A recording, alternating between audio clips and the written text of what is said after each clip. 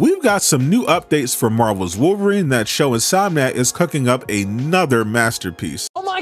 Okay, it's happening! What a do do right nation, I'm back with Super News Bits, bringing you the latest superhero news in less than three minutes because I respect your time if you subscribe. So if you want to be kept up to date with the latest games from Marvel and DC, hit the like button so it will reach more people, but if it wasn't for you, change it to a dislike. Wolverine PS5 is the next highly anticipated Marvel superhero game scheduled for release and has been quietly building hype in the background while Insomniac focused on getting Spider-Man 2 out successfully, which they achieved, making it the fastest selling PlayStation Studios game in history. The amount of money I'm going to be making would hurt your parents' feelings. But now the team is shifting focus to the beloved X-Men alum, literally, as they've been moving their Spider-Man 2 developers over to work on Wolverine over the last month as they attempt to get the game ready for release as soon as possible. And a release window is something we have already, which I'll get to in a bit, but first the most recent update. While speaking with Kinda Funny, Insomniac creative director Bryan Bryan Intihar gave everyone confirmation about something fans have been asking about since Wolverine was revealed in 2021. Wolverine and Spider-Man will officially be part of the same shared universe. During my breakdown of the Wolverine trailer, I pointed out an Easter egg behind the bar that teased this would be the case, and it's nice to have confirmation from Insomniac about their expanding Marvel universe,